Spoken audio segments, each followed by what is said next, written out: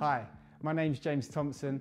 I'm the founder of Pump and Flex Boxing and welcome to my online boxing course for beginners. I myself, I'm an AIQ level 4 personal trainer and boxing coach with over 10 years experience and I'm here to teach you all the boxing fundamentals to give you that solid understanding to start you on your boxing journey. So in that, we're going to be covering all aspects of boxing, starting from your footwork, hand positioning, jab, one, two, combination punches, and then most importantly, defense. So in today's lesson, I'm going to be teaching you how to throw the most important punch in boxing, the jab. So first and foremost, you want to get in your boxing stance, in your position again, hands up. You don't want your hands too high to block, block your vision, too low, then you leave yourself open to get hit in the head.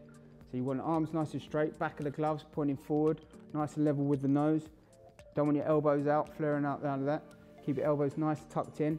And then remember, as you throw that jab, you want to keep that chin tucked down. You don't want it up in the air. Elbows in, nice and tight.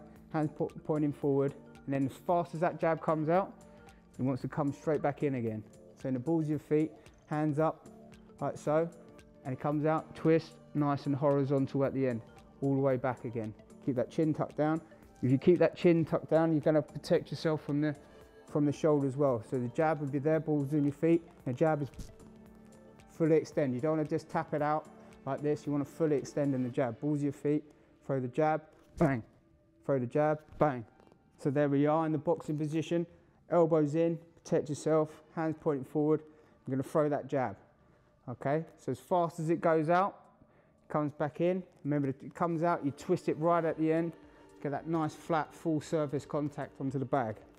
So elbows in, nice steady boxing stance over the balls of your feet, and then jab, jab, jab, jab, jab. Good, so see what I'm doing there? It's not dropping down. A common mistake, you throw the jab, comes back down slowly. So always try and think it's piston in an engine in a car. So it's just a bang, straight out, bang, bang, bang, doesn't move from your, from your cheeks. So hands up, elbows in, jab, jab, jab, jab, jab. See, my right hand doesn't move either. Another common mistake is when you throw the jab, you throw the jab and you can drop the right with it, okay? So what happens, sometimes people go throw the jab, they drop it down. Drop it down, drop it down, like so. So they can throw the jab, comes down and they drop it there. So you want to keep them by the cheek the whole time, nice and steady, of your feet, keep your hands there, then jab, bang, jab, jab, doesn't move, jab, jab, jab. Thanks for watching guys. If you found the video useful, please give it a like. Also, watch out for all the other videos in the series. You can hit that subscribe button to keep up to date. See you on the next one.